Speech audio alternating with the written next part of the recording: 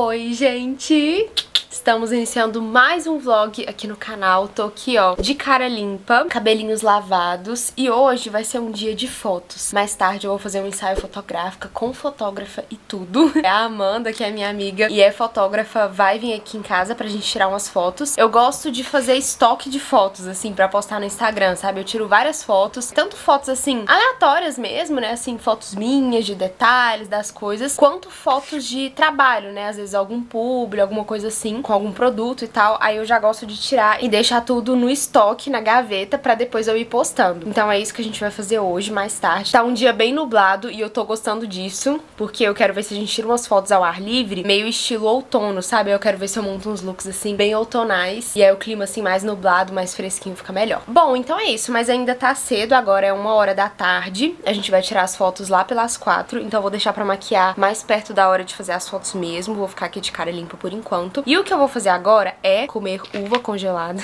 Gente, eis o vício da grávida, uva congelada. É que eu gosto de comer depois do almoço. É uma sobremesinha boa e saudável. Mas aí o que eu vou fazer agora, né, sem ser comer uva congelada, é arrumar as minhas unhas. Eu acabei de tirar a cutícula. O que, que eu fiz? Eu finalizei o cabelo. Aí depois que eu finalizei, eu aproveitei que as cutículas estavam molinhas. Aí eu já tirei a cutícula. E agora eu vou pintar. Fazia e faço, né? Assim, calma, vou explicar. Eu fazia as minhas unhas com uma manicure. Ela vinha aqui em casa uma vez por semana e ela continua vindo. Mas aí ela tá fazendo só o pé. Aí eu tô fazendo de 15 em 15 dias o pé com ela e as mãos eu mesma que tô fazendo. Por quê? Primeiro, eu sinto que eu ganho mais tempo no sentido de que quando é a manicure que faz, acaba que eu fico lá, né, com as duas mãos ocupadas assim, né? Aí uma mão tá aqui, a outra mão tá de molho. Eu sinto que eu fico lá, tipo, parada, né? Não consigo fazer nada, não consigo resolver coisa no celular, não consigo ouvir, assistir uma aula, eu fico ali, né, perdendo. Eu sinto que eu perco um tempo. Claro que o tempo que a gente investe para cuidar da gente não é um tempo perdido, né? É uma coisa que importa. Mas o que que eu prefiro fazer? É que entra o segundo ponto, né? Que é o fato de que eu consigo fazer. Então, como eu mesma consigo fazer, eu prefiro tirar um tempinho pra isso e otimizar o meu tempo. E aí, enquanto eu tô fazendo as unhas, eu aproveito pra assistir um vídeo que eu quero, pra assistir uma aula, pra ouvir alguma coisa interessante, é, enfim, pra resolver alguma coisa de trabalho enquanto eu tô fazendo as unhas. E aí eu sinto que eu ganho mais tempo, sabe? E aí entra o terceiro ponto também, que é outra coisa. Eu aprendi a fazer uma técnica que se chama sete camadas. Provavelmente muitos de vocês já ouviram falar. Essa técnica é da Daniele Honorato, do blog Unha Bonita. E eu já tinha testado essa técnica outras vezes e não deu certo. Eu falava, não, não gosto, não funciona pra mim, não sei o quê. E aí, recentemente, a Dani postou um vídeo no canal do YouTube dela explicando todo o passo a passo de como fazer. Ai, deixa eu sentar aqui. Pera, eu já vou sentar aqui perto da, da mesinha onde eu vou fazer as unhas. Pronto, sentei aqui, os esmaltes estão aqui. E aí, como eu ia dizendo, ela postou um vídeo no canal dela mostrando todo o passo a passo de como que faz. É um vídeo, assim, de 40 minutos. Ela mostrou todos os detalhes. E aí, vi que tinha algumas coisinhas que eu meio que não fazia certinho,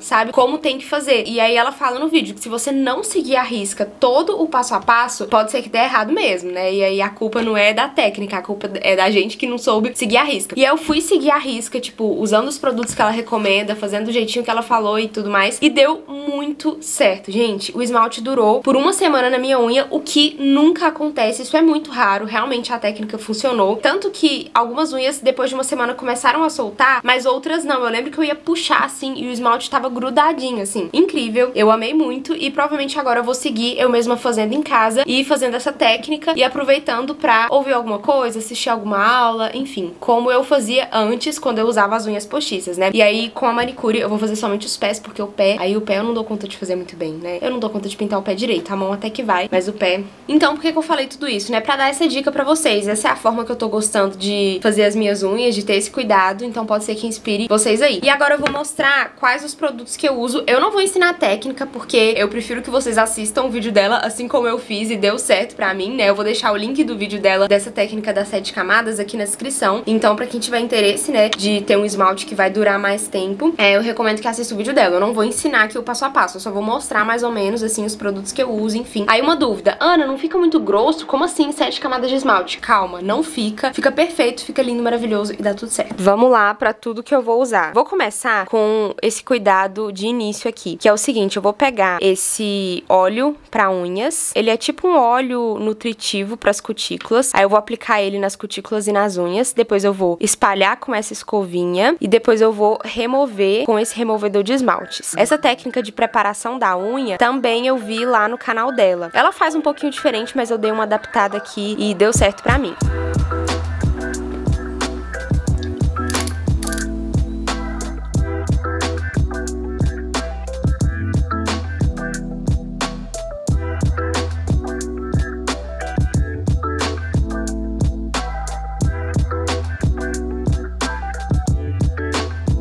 Ó, aí agora a gente não vai lavar a mão, não molha mais. O que a gente vai fazer agora é pegar o algodão, o removedor de esmalte sem acetona e aí eu vou limpando as unhas.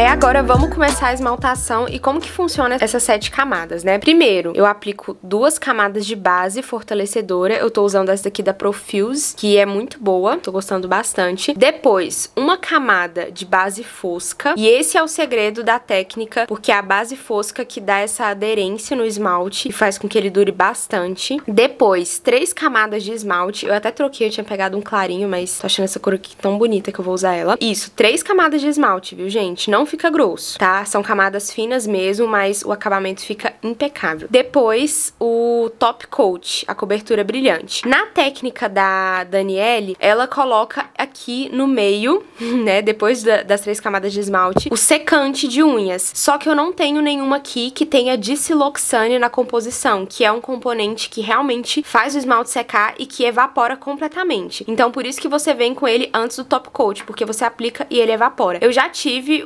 um secante assim, era muito bom, era da Vult, umas gotinhas secantes, mas acabou, enfim, e eu tô sem. Então o que que eu tô fazendo? Eu pedi um pela internet, mas ainda não chegou. Então o que que eu tô fazendo? Depois que eu termino as três camadas de esmalte, eu já aplico o top coat. Eu não venho com esse secante, porque eu não tenho, né, esse que, que evapora. E aí no final de tudo, eu venho com o spray secante. Ela não recomenda na técnica usar o spray secante. Ela fala assim, ó, não é algo que eu uso, então, assim, pode ser que funcione, pode ser que não. E pra mim tem funcionado funcionado, tá? Depois de tudo, eu venho com o spray secante pra ajudar e tá funcionando. Mas depois, quando eu tiver o, o secante com o Desiloxane, eu acho que vai ser melhor ainda. E é isso, agora vamos começar o trabalho, né? E lembrando que de uma camada pra outra, a camada tem que estar tá seca, tá? Não precisa ser 100% seca. Você pode estar tá apertando e tá saindo a digital ainda, mas não pode estar tá saindo o esmalte, sabe? Quando você aperta o esmalte já esparrama todo, não. Aí não rola. Tem que ser tipo assim, apertou, tá só digital, beleza, pode ir pra próxima camada. Uma dica para agilizar o processo é usar um ventiladorzinho daqueles pequenininhos, sabe, de skincare, ou secador no jato frio. E é o que eu faço, né? Eu uso o secador no jato frio para agilizar. Então é isso, bora lá.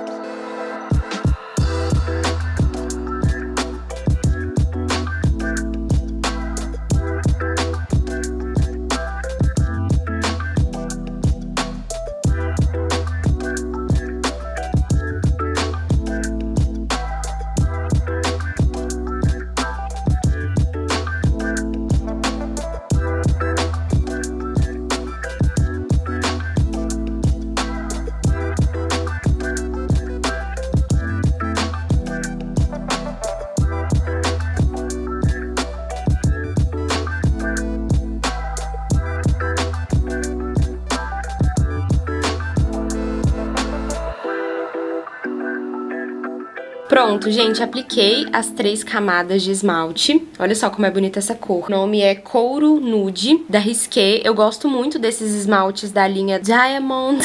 Diamond Gel. Esse daqui de gel, sabe, da Risqué. Eu amo. Tenho várias cores, gosto bastante. Antes de vir com o top coat, eu vou vir limpando. Porque se eu aplicar o top coat e depois tentar limpar, não dá certo. Porque o top coat, ele, tipo, faz uma camada, assim. Se eu for tentar puxar, vira tipo um plástico, sabe? Ah, eu não sei explicar. Mas quem quem já usou top coat sabe. Tem que limpar antes.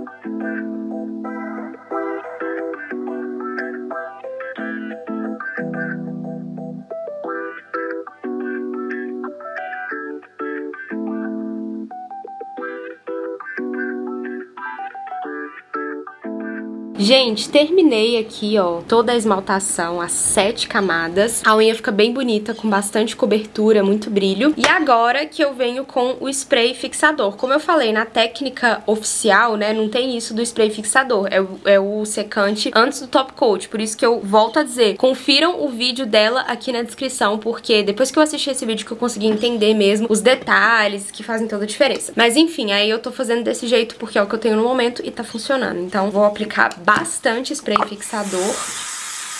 Aí agora elas já vão secando aqui e eu vou seguindo com as tarefas do dia. Aí talvez vocês perguntem, mas Ana, será que vale a pena? Porque demora muito mais, né? É uma técnica um pouco mais demorada. E assim, gente, demora, mas com o tempo também você vai pegando o jeito e vai ficando mais rápido e mais fácil. E outra coisa, se você souber otimizar o tempo, né, desse jeito que eu tô falando, quando você faz a unha, você assiste uma aula, assiste um vídeo interessante, assiste um ouve um podcast, ouve alguma coisa, enfim, você ganha tempo e você aprende uma coisa nova enquanto você tá se cuidando, sabe? Isso é algo que eu amo fazer. Inclusive, ó, já fica aqui uma dica. Se você ainda não faz parte do Clube da Autoestima, que é a minha assinatura mensal para meninas e mulheres que querem crescer, amadurecer e se tornarem a sua melhor versão, já fica aí a minha dica, né? Eu vou deixar o link do clube aqui na descrição. É uma assinatura muito valiosa, com um preço, assim, maravilhoso, que vale a pena cada centavo. E, assim, eu sempre recebo vários depoimentos das alunas que estão lá, elas falando o seguinte, meu Deus, por que, que eu não entrei antes, né? Por que, que eu não tava aqui antes? Como é bom isso daqui? A cada aula elas ficam cada vez mais animadas. E a gente tem aulas quinzenais, enfim, todos os detalhes você encontra aqui embaixo. Então fica aí uma dica, né? Enquanto você faz as unhas, você pode estar assistindo aulas do Clube da Autoestima, vendo os vídeos, enfim, fica aí a dica pra vocês.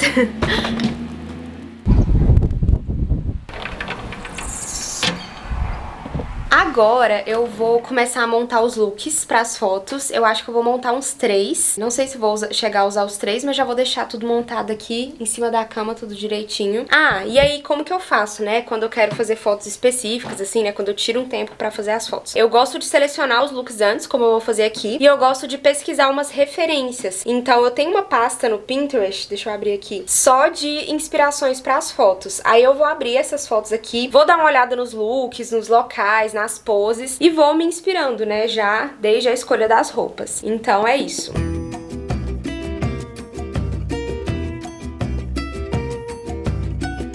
Tinha começado uma chuvinha bem mansinha aqui, mas já parou. O clima aqui, o Nai é assim, gente. Começa a chover, depois para, depois volta e aí fica aquela coisa. Então eu nem me preocupo, assim, começou a chover, eu nem me preocupei. Falei, vamos tirar foto assim do mesmo jeito. Até mesmo porque se não der pra tirar fotos ao ar livre, né, fotos externas, a gente vai tirar em casa mesmo, é, inventar uns cenários aqui. Ah, gente, antes de montar os looks, eu tava aqui juntando os esmaltes, guardando as coisas lembrei. Um dos pontos positivos também da técnica, né, que eu ia falar e esqueci. Eu ia dizer que, tipo assim, demora demora, né? É um pouquinho mais demorada. Aí eu falei, né? Que com o tempo você vai pegando a prática e que você pode, enquanto faz a unha, fazer alguma outra coisa, né? Ouvir alguma coisa. E o outro ponto positivo, que é o principal para mim, assim, é que o esmalte dura muito, né? Essa técnica faz o esmalte durar demais. Isso para mim é um ponto muito positivo, porque eu tenho a rotina mais corrida, tô sempre produzindo conteúdo, então eu quero sempre estar tá com a unha arrumadinha. E aí, com essa técnica, o esmalte dura bem mais e eu consigo ficar com a unha arrumada por mais tempo. Então, esse pra mim é um ponto que vale muito a pena. Montei aqui a base dos looks, coloquei algumas peças principais, mas pode ser que eu mude depois, não sei. Esse vestido, por exemplo, eu não sei se ele vai ficar legal. Que eu lembro que a última vez que eu experimentei, ele tava bem marcando muito, sabe? Então eu não sei se ele fica, se ele vai vestir bem no corpo. Mas olha só que bonito esse, tipo um cachecol, um echarpe da Amaro, lindíssimo. Aí tem aqui essa calça, essa blusinha aqui de crochê, uma boininha pra eu ver se eu tiro umas fotos com ela. Essa camisa aqui é maravilhosa. É de uma loja que chama Principessa. Gente, é muito bem feita as camisas. Olha só esses detalhes, coisa mais bonita. O tecido é perfeito, muito, muito bonita. A qualidade é impecável. Aí eu comprei ela já tem um tempo e ainda não usei. Eu acho que é porque eu comprei ela bem quando tava começando o verão e aí eu não vi muita ocasião de usar, sabe? Mas agora que vai começar um climinha mais fresco, talvez eu consiga começar a usar. E essa saia aqui maravilhosa, enfim. Montei aqui, depois eu vou vendo se eu mudo alguma coisa. Agora eu vou começar a me maquiar e essa parte eu vou deixar mais acelerada mesmo, porque não tem nada de muito diferente. É uma maquiagem básica de sempre, então vou deixar mais rapidinho mesmo.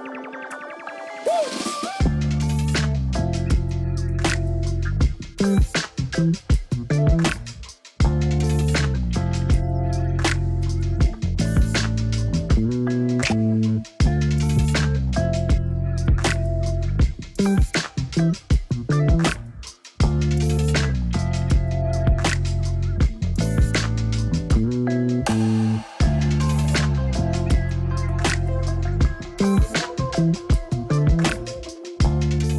a make aqui, acho que agora eu vou só aplicar mais uma camada de máscara. E o batom eu vou aplicar depois, de acordo com o look que eu for usar primeiro, né? Eu vou ver qual batom que dá mais certo.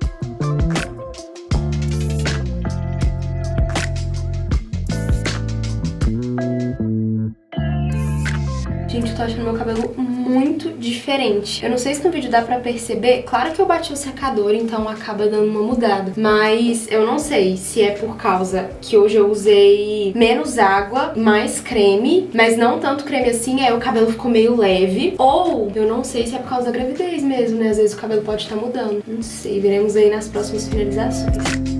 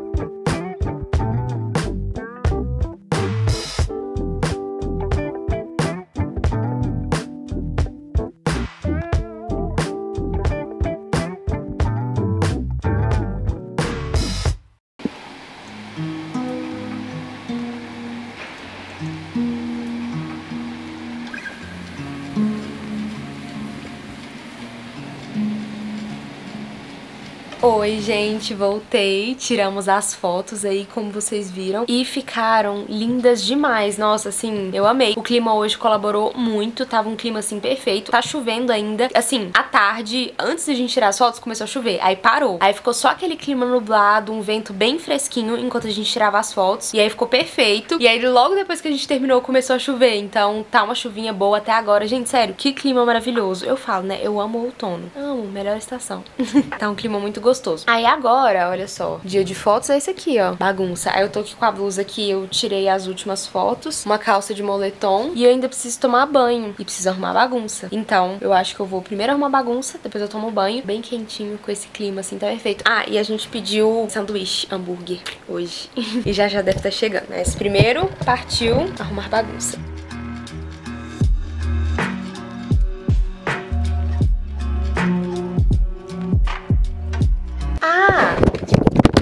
Gente do céu, a câmera caiu aqui, mas tudo sob controle. Eu lembrei de uma coisa. Eu quero mostrar pra vocês as minhas unhas, porque eu não mostrei muito de perto. Peraí, deixa eu ali na luz da sala. Olha só, as unhas ficaram assim. Obviamente que não fica perfeito, né, gente? Porque eu não sou manicure, mas assim, eu acho que dá pro gasto. Essa daqui estragou, porque logo que eu... Tá vendo a pontinha dela? Não sei se dá pra ver no vídeo. A pontinha dela tá estragada. Logo que eu terminei de pintar, e aí eu fui escolher os looks, né, e eu bati esse dedo, tipo, mais brutamente em um negócio no armário. Aí acabou saindo. Mas assim, é aquela história história, né? De longe não dá nem pra ver. Então, olhem só, estão vendo que fica com acabamento bem bonito, bem brilhoso, não fica grosso, tipo, não vai ficar descascando, sabe? Saindo os pedaços, não mesmo. Pelo contrário, vai grudar agora, que é uma beleza.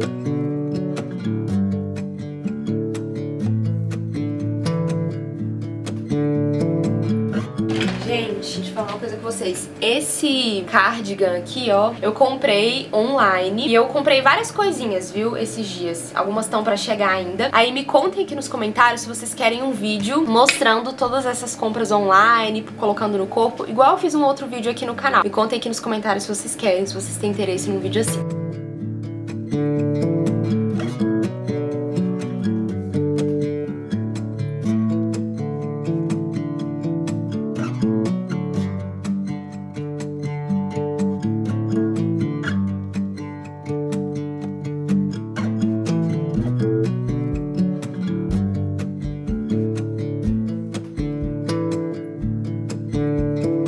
Acabei de sair do banho, arrumei a bagunça aqui. O sanduíche acabou de chegar também, daqui a pouco a gente vai comer. Tomei banho daqui pra cá. Eu não costumo lavar o rosto no banho. Eu gosto de lavar antes de dormir, que aí eu já demaquilo, limpo tudo direitinho, lavo com meu sabonete facial. Inclusive, eu quero fazer um vídeo depois de rotina de skincare atualizada. Me contem também aqui nos comentários se vocês querem ver. E agora, muita gente tá perguntando, né, se a barriga já tá aparente, se já tá crescendo e tudo mais. E assim, eu ainda estou com 10 semanas somente, né? E assim, cresceu um pouco na verdade, eu comecei a reparar essa semana a diferença, sabe? Antes eu pensava assim, gente, será que é a barriga da gravidez mesmo? Será que é o bebê que tá crescendo? Ou é eu que tô mais gordinha? eu ficava assim sem saber. Mas aí essa semana realmente eu vi diferença, porque aí, ó, vendo, tá assim. Aí mesmo quando murcha, aqui mais embaixo fica tipo uma, uma pontinha, sabe? Quando a gente solta, claro, né? Fica. Mas no sentido de que quando eu faço assim postura, né? Aqui embaixo fica tipo com essa pontinha, sabe? Teve uma foto que eu tirei que eu até postei nos stories que deu pra ver demais. Vou até colocar aí pra vocês verem depois. Deu pra ver, pra reparar assim. Agora eu vou lá comer sanduíche.